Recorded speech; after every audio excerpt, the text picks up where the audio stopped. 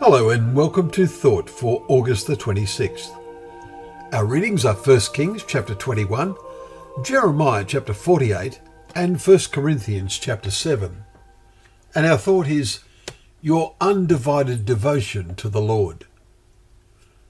Today's chapter in Corinthians is an answer to specific situations there. However, it contains many principles which apply to believers in all ages. Paul is responding to matters about which you wrote, we read in verse seven, uh, chapter 7, verse 1. And it is like hearing one side of a conversation. Corinth was a very immoral city, and the idolatry and fleshly living that surrounded the believers created many problems. They had been involved in this until they committed themselves to the way of life in Christ. They are encouraged to be faithful in their marriages, to avoid divorce, and to be content with the, their situation in life, even if they are still slaves. We read in verse 20 and 21. I want you to be free from anxieties, he writes, to promote good order and to secure your undivided devotion to the Lord verse 35. Maintaining marriage relationships, says Paul, is very important.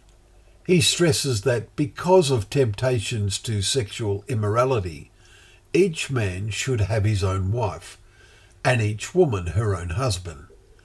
Do not deprive one another, except perhaps by agreement for a limited time, that you may devote yourselves to prayer but then come together again so that Satan may not tempt you because of your lack of self control. Verse 2 and verse 5. This reference to a Satan is to human tempters, just as at one stage Peter was a Satan to Jesus, as Mark 8 verse 33 uh, declares, when his spiritual vision had still not developed. He was not taking in what Jesus was saying and his mind was locked into his own perceptions. Similarly, many of the converts in Corinth would have, have contact with individuals whose attitude was very ungodly and could tempt them.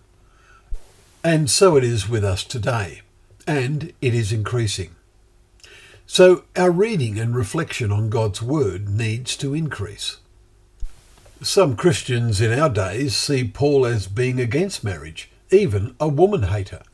This is most inaccurate. He writes, I wish all were as I myself am, but each has his own gift from God, one of one kind, one of another. It is better to marry than to be aflame with passion. Verse 7 and verse 9. There were problems because some who had accepted Christ were married to unbelieving partners. The believer should not seek a divorce here, we are told. The believer should hope to influence the unbeliever to believe. But if the unbelieving partner separates, let it be so, says Paul in verse 15. Paul sensed that Corinth was facing an imminent crisis, we read in verse 31, just as we sense that this world is heading into a big crisis situation. For that reason, there are many points in this chapter which have special relevance to today and the need for our undivided devotion to the Lord.